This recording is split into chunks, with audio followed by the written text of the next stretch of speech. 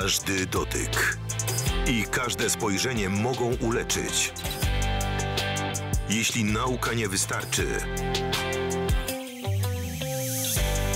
oni są tymi, na których możesz liczyć. Medyczne wieczory w środę od 21.05 tylko w AXN.